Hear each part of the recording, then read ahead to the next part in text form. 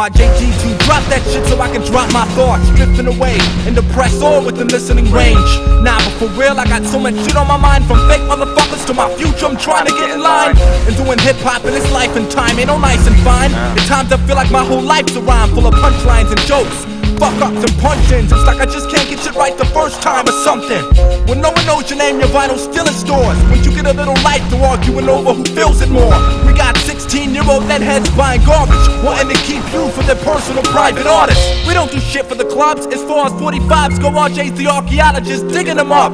And I'm the saint sent to vinyl with cassettes to bash. And it's for life until my final mic check is cash.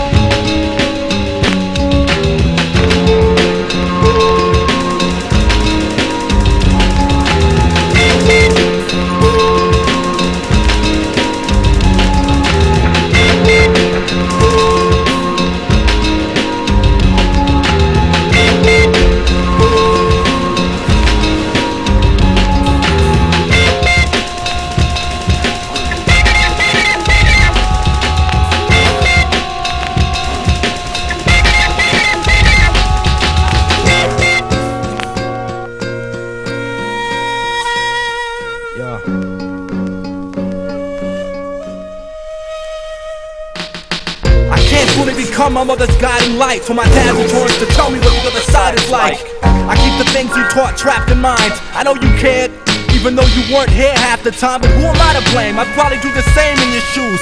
I never held that against you, complained or assumed you never went through what I'm living.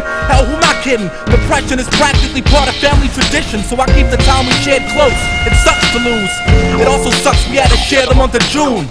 I would've shared eternal time if it were left. Each month I celebrate my birth, I'm reminded of your death.